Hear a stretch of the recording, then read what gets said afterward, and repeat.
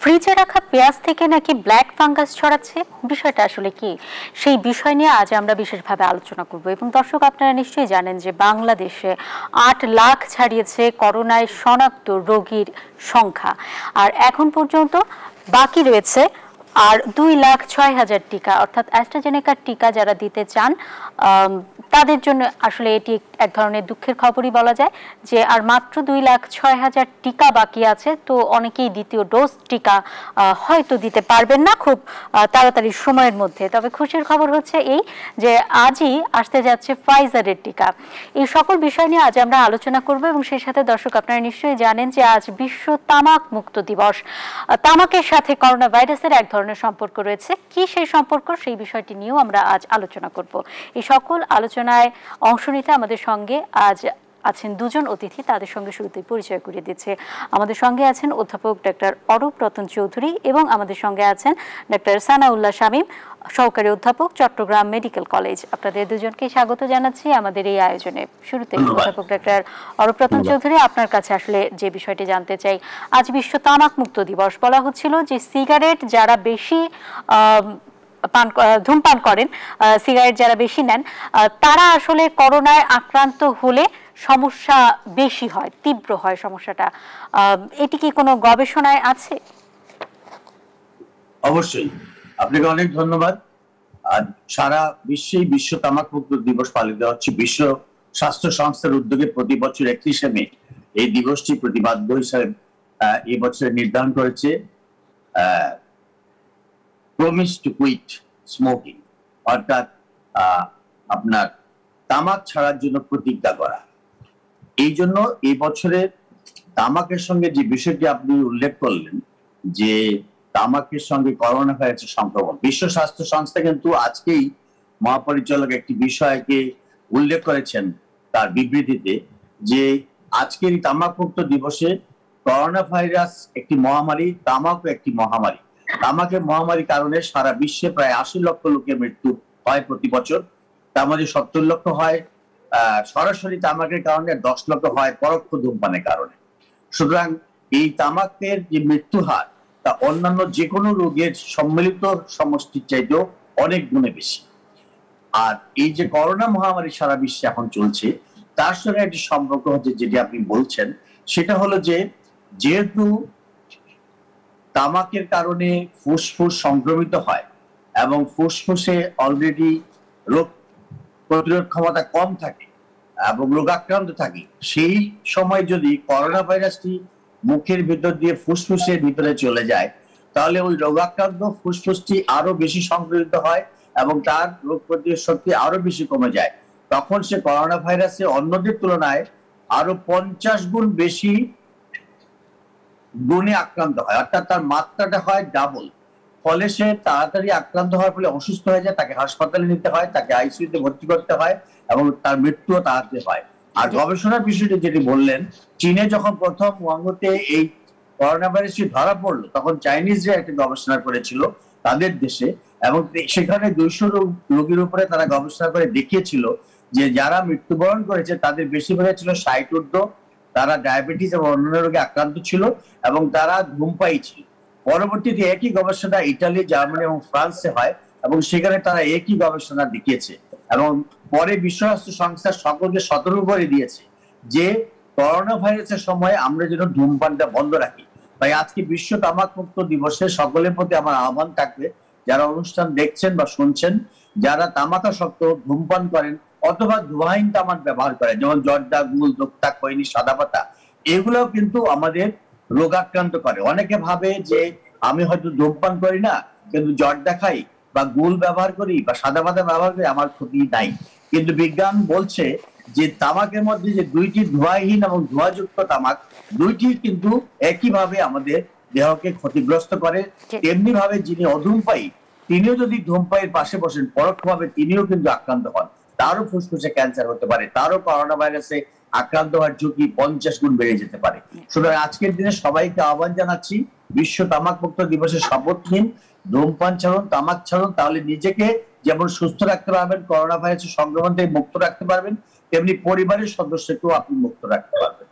অনেক ধন্যবাদ আপনাকে। বিস্তারিত জানতে পারলাম আমরা সিগারেট এবং তামাকের বিষয় এবং সম্পর্কটা আসলে কি করোনা ভাইরাসের সাথে এই তামাকের সেটিও জানতে পারলাম।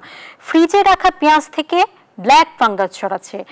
এরকম একটি গবেষণার কথা উঠে এসেছে এবং সেই বিষয়টি নিয়ে আমরা একটু বিস্তারিত জানতে চাই ডক্টর সানাউল্লাহ শামীম আপনার কাছে। জি, ধন্যবাদ। আসলে এই প্রশ্নটি দেওয়ার আগে আমাদেরকে একটু বুঝতে হবে, ফাঙ্গাসের উর্বর ক্ষেত্র কোনগুলো? যেখানে ময়েশ্চার যেখানে ভিজা ভিজা জায়গা, যেখানে ড্যাম সেখানে যেখানে পানি সেখানে ফাঙ্গাস অতএব এই বিষয়গুলোর সাথে জড়িত যে কোনো কর্মকাণ্ডের কারণেই কিন্তু আমাদের এই ফাঙ্গাসগুলো ছড়াতে পারে। সেটা ব্ল্যাক ফাঙ্গাস হোক হোয়াইট ফাঙ্গাস হোক, কিংবা ইয়েলো ফাঙ্গাস হোক, কিংবা অন্য যে কোনো ফাঙ্গাস হোক না কেন। আমরা ইতিমধ্যে জেনেছি যে এই ব্ল্যাক ফাঙ্গাস অলরেডি আমাদের পার্শ্ববর্তী দেশে মহামারী আকার ধারণ করেছে। এবং ইতিমধ্যে প্রমাণিত যে যেসব জায়গায় একটু স্যাঁতস্যাঁতে ভাব, অপরিষ্কার, অপরিচ্ছন্ন ভাব, অনেক মানুষের জনসমাগম, একটি কাপড় অনেক দিন ধরে ধোয়া হচ্ছে না, আলমারিতে রেখে দেওয়া হচ্ছে স্যাঁতস্যাঁতে ভাব হচ্ছে, সেখানে ফাঙ্গাস তৈরি হবে। এবং ফ্রিজ থেকেও ফাঙ্গাস দীর্ঘদিন অব্যবহৃত জিনিসপত্র যদি দীর্ঘদিন রেখে দেওয়া হয়, সেখান থেকে ছড়াতে পারে।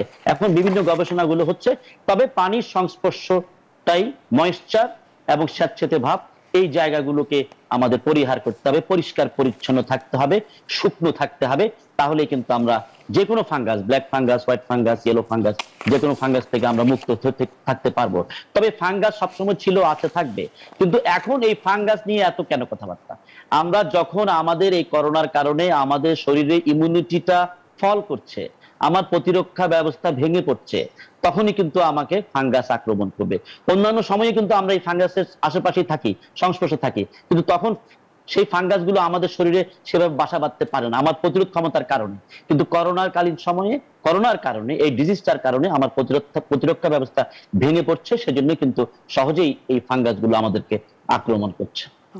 অনেক ধন্যবাদ আপনাকে। ব্ল্যাক ফাঙ্গাসের বিষয়ে আসলে আমরা গত কয়েকদিন ধরেই বেশ চিন্তিত, কারণ ভারতেও কয়েকটি রাজ্যে মহামারী ঘোষণা করার যে চিন্তা, সেটি আসলে চলছিল অনেক দিন ধরে এবং কয়েক জায়গায় ঘোষণা করাও হয়েছে। এবার একটু টিকার বিষয়ে আমরা আলোচনা করতে চাই। দর্শক আপনারা নিশ্চয়ই জানেন, এক লাখ ছয় হাজার ডোজ ফাইজারের যে টিকা, সেটি আজকে আসার কথা এবং সম্ভাব্য সময় বলা হচ্ছে এগারোটা বিশ মিনিট। সেই সময় হয়তো বা পৌঁছাবে এই টিকা। যদিও এই টিকা নিয়ে আসলে আমরা স্বাস্থ্য মন্ত্রণালয়ের কাছ থেকে, স্বাস্থ্য অধিদপ্তরের কাছ থেকে কয়েকবার বিভিন্ন ধরনের সময়ের কথা শুনেছি। গতকাল আসার কথা ছিল, তারপরে শুনলাম যে আসবে না, আবার শুনলাম আজকে আসবে। তো আমরা আশা করি কিছুক্ষণের মধ্যেই এই টিকা পৌঁছাবে। এখন প্রশ্নটা হচ্ছে, এই ফাইজারের টিকা কারা পাবে?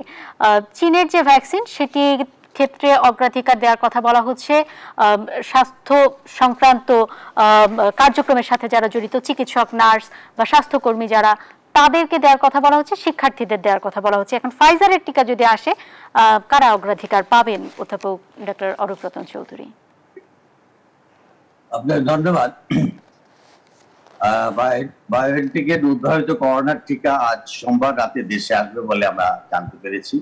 এবং ফাইজারের টিকা কবে নাগাদ দেওয়া শুরু হবে তা এখনও সঠিকভাবে আমরা জানি না। তবে এই টিকাটা যে আসছে সেটা যে আমাদের যে টিকা সংগ্রহ এবং বিতরণের যে বৈশ্বিক উদ্যোগ কোভ্যাক্স থেকে বাংলাদেশ প্রাথমিকভাবে এক লক্ষ ছয়শো বিশ ডোজ ফাইজারের বায়োএনটিকের টিকাটা পাচ্ছে এবং আমাদের এটা যে সংরক্ষণের বিষয়টি কিন্তু মাইনাস নব্বই ডিগ্রি থেকে মাইনাস ষাট ডিগ্রি তাপমাত্রা সংরক্ষণ করতে হবে। সব জায়গায় সেটার ব্যবস্থা নাই। এটা আছে সরকারের আইপিএইচ এবং আইডিসিআর এইসব জায়গায়। তবে আপাতত আমরা জানতে পেরেছি আইপিএইচ এ রাখা হবে। এবং যেহেতু এটা অন্য জায়গায় ব্যবস্থা নাই, সুতরাং স্বাভাবিকভাবে বোঝা যাচ্ছে যে এটা ঢাকা কেন্দ্রিকই এটা ব্যবহার করা হবে। এবং সেটা হয়তো বা চিকিৎসক বা স্কুল বা যেহেতু স্কুল খুলে দেওয়ার একটা উদ্যোগ নেওয়া হচ্ছে বা সরকারি কর্মকর্তা যারা আছেন, বিশেষ শ্রেণীভুক্ত যারা আপনার ফ্রন্টলাইন সোলজার আমরা যারা বলি যে করোনার মোকাবেলার ক্ষেত্রে এবং যাদের সংক্রমিত হওয়ার ঝুঁকিটা বেশি, তাদের ক্ষেত্রে হয়তো বিবেচনা করা হবে। যারা, যাদের সংক্রমণের ঝুঁকি বেশি, তাদের ক্ষেত্রেই হয়তো বা এই ভ্যাকসিনটি দেয়া হবে। সে বিষয়ে নিশ্চয়ই আমরা আরও কথা বলব এবং সেই সাথে স্বাস্থ্য অধিদপ্তর বারবার যে এই সময়টা নিয়ে কথা বলল, তারা যেটি বলতে চাইছিল যে কি কারণে আসলে মানে ঠিক কয়টার সময় বাংলাদেশে এসে পৌঁছাবে, সেটা নিয়ে এক ধরনের তথ্য বিভ্রাট হওয়ার কারণেই আসলে তারা এক একবার এক এক সময়ের কথা আসলে বলেছে। এবারে আসলে যেটি জানতে চাই, সেটি হচ্ছে বাংলাদেশে এরই মধ্যে আট লাখ ছাড়িয়েছে করোনা আক্রান্তের যে সংখ্যা সেটি। তার মানে আট লাখ মানুষ বাংলাদেশে ইতোমধ্যে করোনায় আক্রান্ত হয়ে গেছেন। অন্তত পক্ষে যারা টেস্ট করিয়েছেন তাদের মধ্যে। এখন টেস্ট করিয়ে, করিয়েছেন সেই হিসাবটা আমরা পাচ্ছি। টেস্ট করাননি, তাদের হিসাবটাও যদি আমরা করি, আমরা কি মানে কোনোভাবে কোনো ধরনের ধারণা দিতে পারি যে আসলেই বাংলাদেশে কত মানুষ, কত লাখ মানুষ এ পর্যন্ত আক্রান্ত হয়েছেন? ডাক্তার সানাউল্লাহ শামীম? জি, একটি খুবই গুরুত্বপূর্ণ প্রশ্নের অবতারণা আপনি করেছেন। এই প্রসঙ্গে বলতে গিয়ে আমি আপনাকে চট্টগ্রামে পরিচালিত, অতি সম্প্রতি পরিচালিত একটি গবেষণার রেজাল্ট আপনাকে আমি জানাতে চাই। চট্টগ্রামে যে করোনার জন্য ডেডিকেটেড প্রথম dedicated hospital Chattogram general hospital সেখানকার চিকিৎসক বৃন্দ এবং কর্মকর্তা বৃন্দ মিলে একটি স্টাডি তারা করেছেন। সেখানে দেখেছেন যে যেই সব মানুষের করোনা হয়নি এবং সেই মানুষগুলো টিকাও নেয়নি। কিন্তু তার শরীরে অ্যান্টিবডির উপস্থিতি কিন্তু তারা পেয়েছেন। এটা কি ইন্ডিকেট করে? এটা ইন্ডিকেট করে যে ইতিমধ্যে অসংখ্য মানুষ কিন্তু করোনা আক্রান্ত হয়ে অ্যাসিমটোমেটিক থেকে, উপসর্গবিহীন থেকে তারা কিন্তু সেরে উঠেছে। এটা একদিকে আমি বলব অনেকটা সুখবর। এজন্য আমরা কিন্তু হার্ড ইমিউনিটি বলতে যেটাকে বুঝি, যে একটা টু থার্ড বা সেভেন্টি এইটি পার্সেন্ট মানুষ কোনোভাবে আক্রান্ত হোক বা টিকা নিয়ে নিক, বাকি সবাই কিন্তু ইমিউনাইজড হয়ে যাবে। তো সেটা আমাদের আট লক্ষ মানুষ আক্রান্ত হলেও ডেথ রেট কিন্তু এখনও ওয়ান পয়েন্ট ফাইভ পার্সেন্ট বাকি সবাই কিন্তু সুস্থ হয়ে গিয়েছে। এটা হচ্ছে সরকারি হিসাব, কাগজপত্রের হিসাব।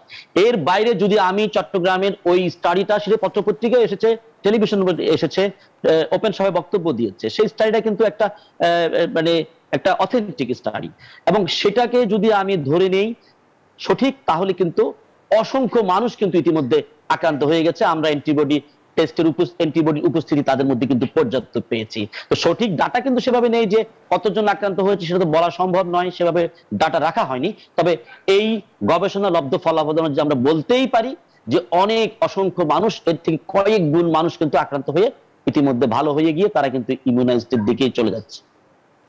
আচ্ছা তার মানে এক- একদম সঠিক সংখ্যা আমাদের হাতে নেই, কিন্তু কোনো ধারণা করে কি আমরা কিছু বলতে পারি? অধ্যাপক ডক্টর অরূপ রতন চৌধুরী যে এর দ্বিগুণ বা এর তিন গুণ মানুষ আসলে আক্রান্ত হয়েছেন? অবশ্যই, আমরা দেখেন, বিশ্ব স্বাস্থ্য সংস্থা প্রথম দিকে কিন্তু প্রায় এক বছর আগে থেকে তারা বলছিল যে করোনাকে আমরা যদি সঠিকভাবে মোকাবেলা করতে চাই, তাহলে টেস্ট টেস্ট টেস্ট।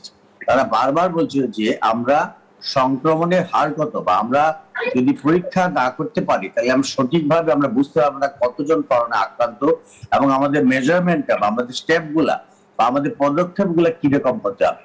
সুতরাং এইখানে এটার ব্যাপারে আমাদের যে করোনা সংক্রমণ পরীক্ষা করে সংক্রমিত ব্যক্তিদেরকে শনাক্ত করে তাদেরকে আইসোলেশনে নেওয়া বা তাদেরকে একটা চিকিৎসা দেওয়া, এই যে একটা বিশেষ ব্যবস্থার প্রাধান্য কথা প্রথম থেকে বিশ্ব সংস্থা বলছে, সেটা কিন্তু আমরা সেভাবে করতে পারিনি। ফলে সংক্রমিত হার কত, সেটা কিন্তু আমরা আন্তর্জাতিকভাবে কখনো বলতে পারি না। এবং আমার সহযোগী যে চিকিৎসক বললেন যে চট্টগ্রামের যে অবস্থাটা এবং এই সেই গবেষণা কাজটা, সেটার সঙ্গে আমিও একমত পোষণ করি যে দেখেন, যে গবেষণাটা তিনি বললেন, তিনি কিন্তু এটা কিন্তু একটা সারা বাংলাদেশের চিত্র হতে পারে। যে অনেক মানুষ কিন্তু আসলে সংক্রমিত হয়ে ইতিমধ্যে সুস্থ হয়ে গেছে। আমরা কিন্তু বুঝতে পারছি না। আমরা অনেক ক্ষেত্রে বলি যে শহরের মানুষের বা বিত্তশালীদের করোনা হচ্ছে অনেকে বলে। এবং এটা গরিবদের হয় না। এটা কিন্তু ঠাট্টা সহকারে অনেকেই গরিবদেরকে বলতে শুনেছি। এটা কিন্তু একদিক দিয়ে সত্য এটা যে তাদের হয়তো হয়েছে এবং হওয়ার পরে তারা এমনিতেই সুস্থ হয়ে আছে এবং তাদের মধ্যে একটা হার্ড ইমিউনিটি কিন্তু গ্রো করেছে। এটা কিন্তু ধারণাটা অমূলক কিছু না বা এটা উড়িয়ে দেওয়ার মতো না। এটা যদি আমরা পরীক্ষা আরও বেশি সারা দেশব্যাপী চালাতে পারি এই গবেষণা কাজটি যদি পর্যাপ্তভাবে হয়, তাহলে কিন্তু এটা আরও সুন্দরভাবে সেটা বোঝা যাবে এবং এটা পরিষ্কার হবে। এবং সুতরাং আমি বলতে চাই এখন আরেকটি বিষয় হচ্ছে এখানে যে করোনা ভাইরাসের সংক্রমণটা সিমটমলেস এটাও কিন্তু মাঝখানে কিন্তু বিজ্ঞানীরা বলছিলেন যে, এটা যে সবসময় কাশি, সর্দি, জ্বর হবে বা তার গায়ে অসুস্থতা দেখা দিবে, তারপর আমি তার করোনা টেস্ট করব। এটা অনেক ক্ষেত্রে কিন্তু হচ্ছে না। প্রায় পঞ্চাশের ক্ষেত্রে কিন্তু সেটা দেখা যাচ্ছে সিমটম বিহীন এবং তিনি করোনা পরীক্ষা করতে গিয়ে দেখান তিনি পজিটিভ এটা বেশিরভাগ ক্ষেত্রে আমরাও আমরা চিকিৎসা করি, হাসপাতালে রোগীদের ক্ষেত্রে আমরা দেখেছি। তিনি বলছেন, আমি তো কখনো আমি অনুভবই করলাম না যে আমার করোনা কোনো ধরনের আমার লক্ষণই নাই। তাহলে আমারটা পজিটিভ হচ্ছে কেন? আপনি আমি হয়তো আমার দাঁতের চিকিৎসা করতে গিয়ে তাকে করতে দিয়েছিলাম কিন্তু তিনি হয়তো পজিটিভ রেজাল্টটা দিয়ে মনমরা হয়ে আমার কাছে আসলেন। এবং তিনি বলেন এটা কি হলো? আমরা দেখেন এটা হয়তো আপনার ব্লেসিং ইন ডিসগাইজ হলো। আপনি হয়তো জানতেন না আপনি এখন জানলেন এখন আইসোলেশনে যান পরিবার থেকে আলাদা থাকুন যাতে অন্যরা আপনার বাসায় যারা বৃদ্ধরা রয়েছে তারা হয়তো সংক্রমিত হতে পারে। সেটা আপনি একদিক দিয়ে ভাগ্যবান যে আপনার ধরা পড়ল আপনি নিজেকে আইসোলেশনে নিলে তারা রক্ষা পাবে সুতরাং এইটা সব দিক দিয়ে বিবেচনা করলে আমরা একদিকে যেমন এটা একটা বিপদ দেখি, আবার যারা সংক্রমণে যাদের লক্ষণ নেই তারা ধরা পড়ে, তাদের জন্য আইসোলেশনে যাওয়াটাও একটা একটা শুভ লক্ষণ।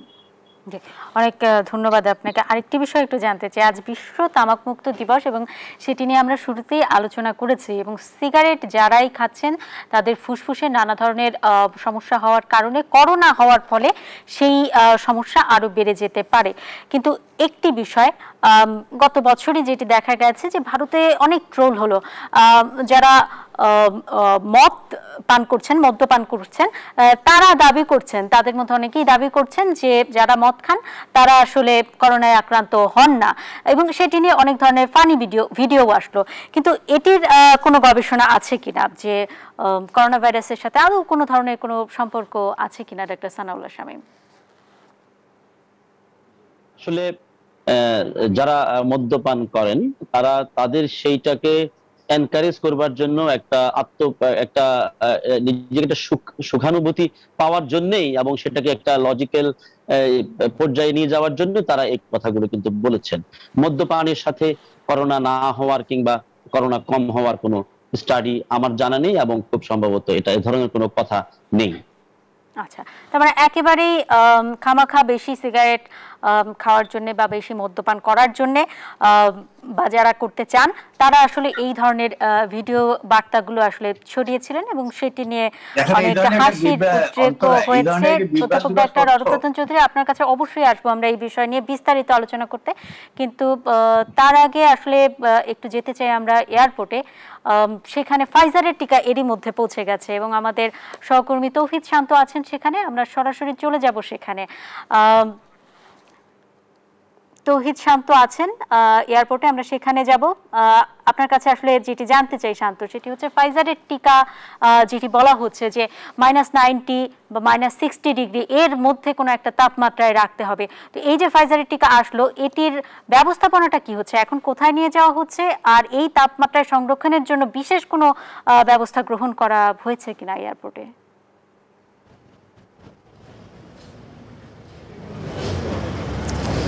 বিশেষ ব্যবস্থা তো গ্রহণ করা হয়েছেই, তবে কি ধরনের ব্যবস্থা গ্রহণ করা হয়েছে এটি এখনও আমাদেরকে জানাননি এই বিবরণটি দেয়নি। আর টিকা প্লেনে মাত্র এসে নেমেছে কার্গো বিমানে। এটি এখনও এয়ারপোর্টের বাইরে আসেনি। আপনি দেখতেন যে আমরা দাঁড়িয়ে আছি কার্গো টার্মিনালটি, সেই টার্মিনালের সামনে। আপনাকে, আপনি এর আগে নিশ্চয়ই তথ্যগুলো জানেন যে এই টিকাগুলো হলো দরিদ্র দেশের যে শিশুরা রয়েছে, তাদের জীবন রক্ষায় পাঠানো হয়েছে এবং এটি একটি যে global alliance for vaccine and immunisation এই সংগঠন থেকে পাঠানো হয়েছে এবং প্রায় এক লাখ বিশ হাজার ডোজ এই টিকা এসে নেমেছে এগারোটা বিশ মিনিটে। আমরা যতটুকু আপনাকে বলতে পারি যে আপনি যেটি জানতে চাইলেন যে ফাইজারের টিকা সেইটার সবচেয়ে বড় যে গুরুত্ব সেটি হলো একটি নির্দিষ্ট তাপমাত্রা এবং সেটি মাইনাসেরও অনেক নিচে এবং এই তাপমাত্রাটি নিয়ন্ত্রণ করার জন্য খুব বিশেষ ধরনের ফ্রিজার লাগবে এবং সেই ব্যবস্থা কতটুকু নেওয়া হয়েছে এবং সেই ব্যবস্থা না নিলে এই টিকার গুণাগুণ তো নষ্ট হয়ে যাওয়ার কথা। সেই সেই বিষয়টি স্বাস্থ্য অধিদপ্তরের যারা কর্মকর্তারা রয়েছেন, তারা আসলে সেই ব্যবস্থাটি নিয়েছেন কিনা, এই বিষয়গুলো আমরা জানাতে পারব হয়তো বা কিছুক্ষণের মধ্যে যে স্বাস্থ্য অধিদপ্তরের যে কর্মকর্তারা আছেন, তারা কিছুক্ষণ আগে এখানে ছিলেন। টিকা এসে নামার পরে তারা ভেতরে গিয়েছেন এবং সেখানে তারা এই টিকাগুলো বাইরে নিয়ে আসার ব্যবস্থা করছেন। এরপরে তাদের পক্ষ থেকে কিন্তু আমাদেরকে একটি ছোট্ট বিবরণ দেওয়ার কথা এবং সেখানে আমি আপনাকে জানাতে পারব যে এই টিকাগুলো ব্যবস্থাপনাটা কি হচ্ছে এবং কীভাবে এটি দরিদ্র শিশুদের মাঝে পৌঁছাবে, অন্তরা। অনেক ধন্যবাদ আপনাকে। আপনার মাধ্যমে আমরা বিস্তারিত জানতে পারলাম যে কোভ্যাক্সের টিকা ফাইজারের যে টিকা, ফাইজার বায়োএনটেকের টিকা, সেটি আসলে বাংলাদেশে এসেছে এবং খুবই একটি সুখবর নিঃসন্দেহে আমাদের জন্য। এই ফাইজারের টিকা নিয়ে এর- এর আগেও আসলে আমরা আলোচনা করেছি, অধ্যাপক ডক্টর অরূপ রতন চৌধুরী। এবং আমরা ধরেই নিচ্ছি এটা আমাদের প্রত্যাশা যে অবশ্যই সব ধরনের ব্যবস্থা বাংলাদেশ সরকার গ্রহণ করেছে এবং এই ফাইজারের টিকা নিরাপদে বাংলাদেশে পৌঁছেছে এবং খুব নিরাপদেই আসলে সবার কাছে যাবে এবং সুরক্ষিত অবস্থায় টিকাটি থাকবে এবং সবাই নিতে পারবেন। শান্ত, আপনাকে অনেক ধন্যবাদ।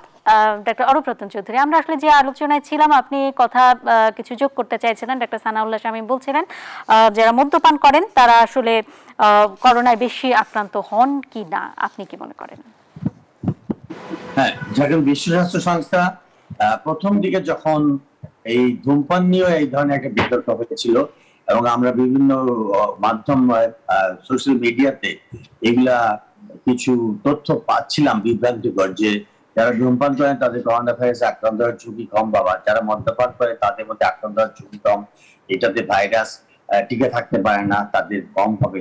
কিন্তু বিজ্ঞান প্রমাণ করেছে ইতিমধ্যে বিশ্ব স্বাস্থ্য সংস্থা সহ বিভিন্ন বৈজ্ঞানিক বৈজ্ঞানিকরা বিভিন্ন দেশ থেকে কিন্তু এই তথ্যগুলোর বিরুদ্ধে তারা সমালোচনা করেছেন এবং বলছেন যে এটা বিভ্রান্তিকর তথ্য। কেউ যেন এই ধরনের কথায় কান না দেয়। কারণ দেখা গেছে গবেষণা ইতিমধ্যে যে যারা সংক্রমিত হয়ে হাসপাতালে ভর্তি হয়েছেন বা যাদের মৃত্যু হয়েছে, তাদের বেশিরভাগই ছিলেন অন্যান্য রোগী আক্রান্ত, তাদের বয়স ষাটের বেশি এবং তাদের এই ধরনের মদ্যপান অথবা ধূমপানে তাদের নেশা ছিল। বা তারা তাতে আসক্ত ছিলেন। ফলে তাদের রোগ প্রতিরোধ শক্তি কম ছিল। এই একটি কথা এখানে অত্যন্ত গুরুত্বপূর্ণ। আমি সকলের জ্ঞাতার্থে বলতে চাই যে করোনা ভাইরাস সহ সকল ধরনের রোগ যেগুলা মহামারী মতো সারা বিশ্বে হয়, সেগুলা কিন্তু প্রতিরোধ করার জন্য দুইটি জিনিস খুবই ইম্পর্টেন্ট একটি হচ্ছে যে ভ্যাকসিন যেটা আমরা ইতিমধ্যে নিচ্ছি বা নিতে যাচ্ছি এবং আমাদের দেশে আরও আসছে। এবং দেখেন আপনি আমেরিকার দিকে তাকিয়ে দেখেন আমেরিকা কিন্তু এখন তাদের সমস্ত কিছু খুলে দিয়েছে এবং কয়েকটি স্টেটে কিন্তু মাস্ক ব্যবহারও বন্ধ করে দিয়েছে। এর প্রধান কারণটি হচ্ছে তারা পর্যাপ্ত পরিমাণে মানুষকে ভ্যাকসিনেটেড করতে পেরেছে। ইউরোপের দিকে তাকান, লন্ডন, ইংল্যান্ডে কিন্তু এখন স্কুলও পর্যন্ত খুলে দিয়ে স্কুল কলেজ শিক্ষা প্রতিষ্ঠান খুলে দিয়েছে শপিং মল খুলে দিয়েছে। এর প্রধান কারণ হচ্ছে তারা ভ্যাকসিনেটেড হয়েছে। আর যেটা আরেকটি কথা হচ্ছে সেটার সঙ্গে হচ্ছে, আমি যুক্ত করতে চাই যে মানুষের ইমিউনিটি কিন্তু বাড়াতে হবে। ইমিউনিটি বাড়ালে আমাদের রোগ প্রতিরোধ যদি বেশি থাকে করোনা ভাইরাস আমাদের সংক্রমিত করতে পারবে না বা আক্রমণ করতে পারে না। আর ইমিউনিটি বাড়ানোর জন্য আমরা যেমন পুষ্টিকর খাদ্য গ্রহণ করব ফাস্টফুড ত্যাগ করব, তেমনি এই ধরনের নেশাকর বস্তু যেগুলা ধূমপান, মাদক, সেগুলো